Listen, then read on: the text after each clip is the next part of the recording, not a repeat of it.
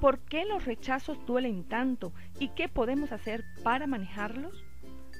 Los rechazos son la herida emocional más común que sostenemos en la vida diaria. Nuestro riesgo de rechazo solía estar limitado por el tamaño de nuestro círculo social o a los rechazos inmediatos de citas en grupo.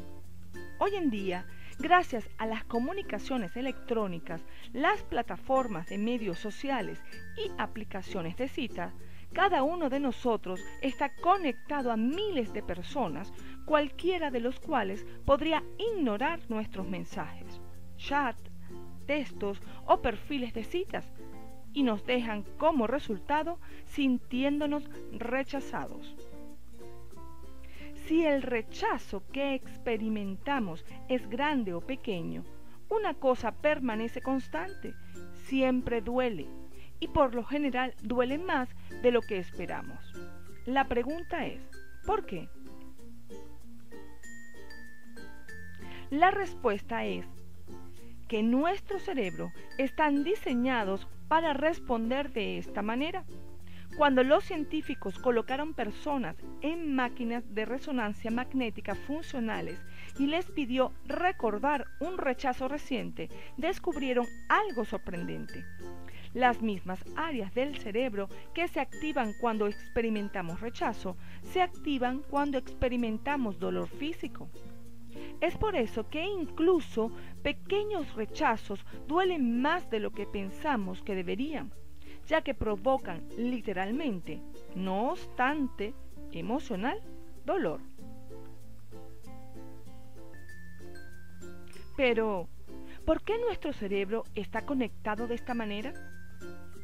Los psicólogos evolutivos creen que todo comenzó cuando éramos cazadores, recolectores y que vivíamos en tribus. Ya que no pudimos sobrevivir solos, el ostracismo de nuestra tribu era básicamente una sentencia de muerte. Como resultado, hemos desarrollado un mecanismo de alerta temprana para alertarnos cuando estábamos en peligro de ser excluidos por nuestros compañeros de tribu. Y ese fue el rechazo. Las personas que experimentaron el rechazo como más doloroso eran más propensas a cambiar su comportamiento, permanecer en la tribu y pasar sus genes a las próximas generaciones. Por desgracia, el mayor daño que causa el rechazo suele ser autoinfligido nos convertimos en nuestros propios y más grandes autocríticos. En otras palabras, justo cuando nuestra autoestima está perjudicando a la mayoría, nos dañamos aún más. Hay maneras mejores y más saludables para responder al rechazo, cosas que podemos hacer para frenar las respuestas no saludables, aliviar nuestro dolor emocional y reconstruir nuestra autoestima. Sería, por ejemplo, tener tolerancia cero para la autocrítica. Sería tentador hacer una lista de todos sus fallos en los cuales las secuelas de un rechazo y cuáles podrían parecer natural, castigarse a sí mismo, por lo cual hizo algo malo. Pues no. Por todos los medios revise lo que ha pasado y considere lo que debe hacer de manera diferente en el futuro pero no hay absolutamente ninguna buena razón para ser punitivo y autocrítico mientras lo hace.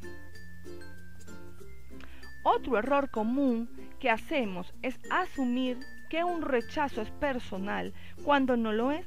La mayoría de los rechazos, ya sean románticos, profesionales e incluso sociales, se debe a deber adecuarse a las circunstancias